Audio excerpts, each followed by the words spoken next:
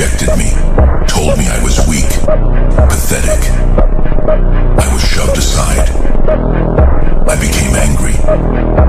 And then my anger turned into hate. I found myself alone in the darkness. So I let it consume me. It turned me into something better.